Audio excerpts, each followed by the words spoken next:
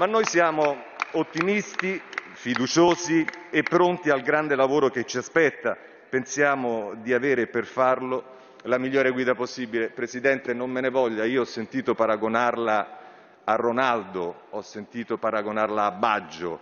Adesso lei mi consentirà, visto che conosco anche qual è la sua fede calcistica, che abbiamo in casa nostra qualcuno, un gran capitano che lo è stato e lo sarà sempre, al quale riconosciamo lungimiranza, intelligenza, precisione nei passaggi e che molto più diciamo, a casa nostra, almeno per quanto mi riguarda, preferisco, se proprio dobbiamo stare in questa metafora, accostarla.